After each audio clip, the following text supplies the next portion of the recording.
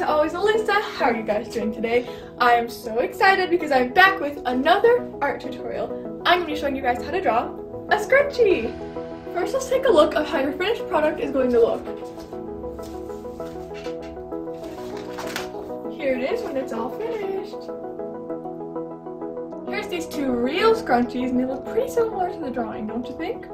You'll notice that these two scrunchies are pretty much the same size as the one I drew. And that'll bring me to my first tip. When you're drawing this specific art piece, you want to make sure it's pretty similar in size to a real scrunchie. You can make this any different color scrunchie you want, but for this, I'm using red, orange, purple, white, and pink tones.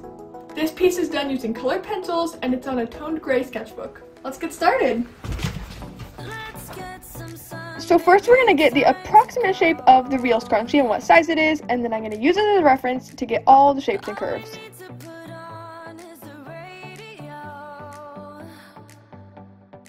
Just keep following along and you can use either your scrunchie as a reference or you can use a picture if you want.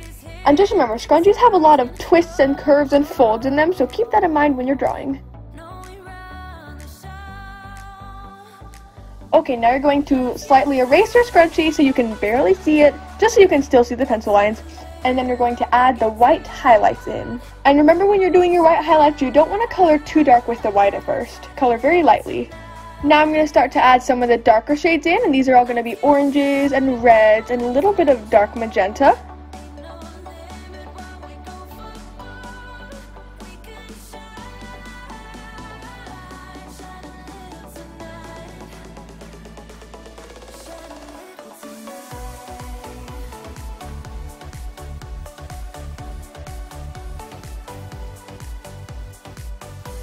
Now I'm going to add in a few purple tones.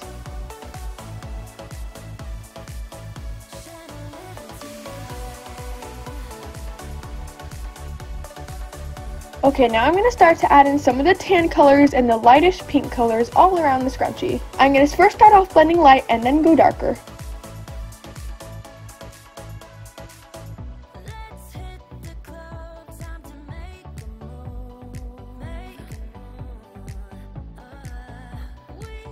You can even brighten up some of these white highlights if you want to also.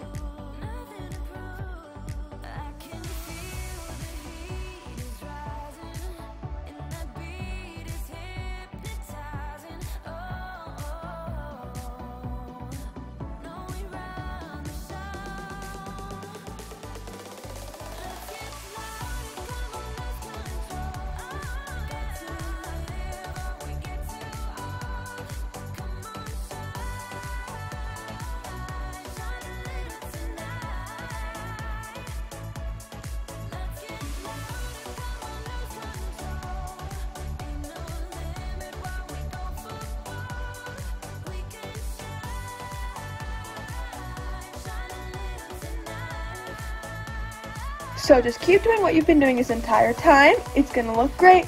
And remember, always blend lightly at first until you have a lot of layers, and then you can start to press harder with the colored pencils.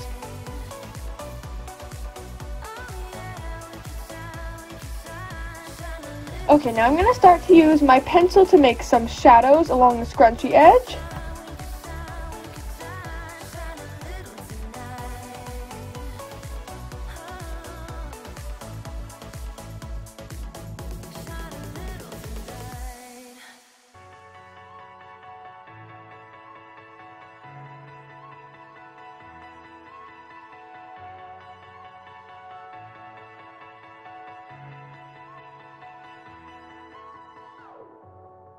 I'm running out of time, every day goes by so fast. And every moment counts, baby, I don't wanna miss a thing. And I'm using a little paper tool to blend the pencils if you're wondering what I was using for the shadows, but you can also use a paper towel or even your finger. And just a side note, I use the blending tools for the actual pencil, not the color pencil. This is an important part. Whenever you're doing shading with pencils for this type of art, for Prismacolor art, you always want to use a black color pencil a little bit for the shading, and you can't really blend that with a paper towel, so you have to be careful to use it very lightly, but you want to put it very dark next to the edges of the scrunchie to give it a 3D look.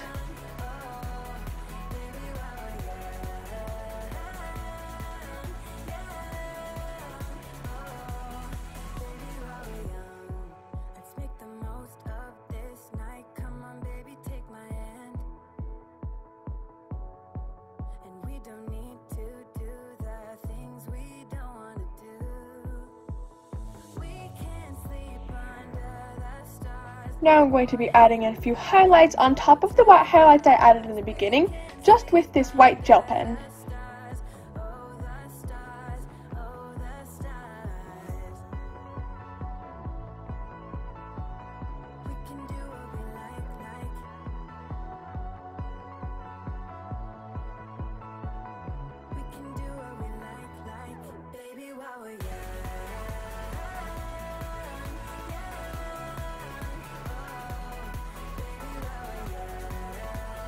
This part is really important because all of these highlights are going to make this look so much more realistic.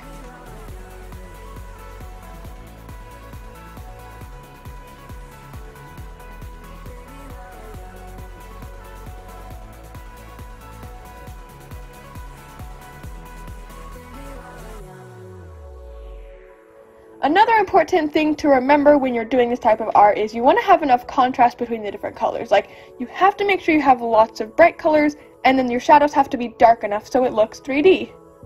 We can sleep under the stars, we can sleep under the stars, or hang out in hotel bars, driving somewhere in your car. We can sleep under the stars, we can sleep under the stars.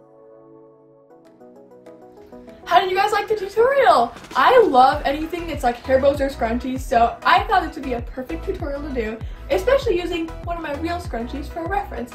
That was pretty fun, and it was a lot of fun doing the shading too. Like, it wasn't as realistic until I added shading, I was like, whoa, it looks way better now. So that was definitely one of my favorite parts.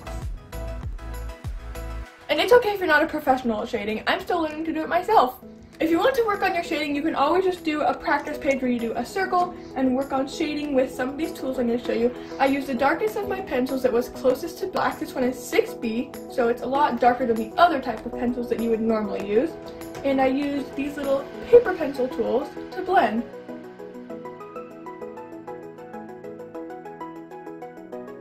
And that really helps. It gives it a super smooth look. And then at the end, I put a little bit of black in very close to the scrunchie. Another very important part to make this scrunchie look 3D and realistic is highlights. So this is what I use to do my highlights. They're just white gel pens. I have two sizes, 8 and 10. One's a little bit bigger. And you can see on these parts where it has a lot more white, that's where I use the gel pens. When you're doing highlights and shadows on your art, you have to think of where the light is coming from. Like here is kind of coming from the top or like right here. So that's why the highlights are on the top of the object and where it's the brightest. And that's also why the shadow's down below. Shadows and highlights can make your art look really realistic. Depending on where your light source is in the picture, your shadows can be in many different places. Like if the light was coming from right here, then all the shadows will be on this side. Well, I really appreciate you guys watching this video. Make sure you leave a thumbs up because I really appreciate the love. So thank you. And you guys have to make sure to comment and tell me what you want me to draw next or paint next, like watercolor, acrylic, if you want me to do an animal or an object, like a scrunchie, or even some kind of nature scene. So be sure to tell me what you want me to do next, okay? I'll see you guys later. Have a great day. Bye! Baby,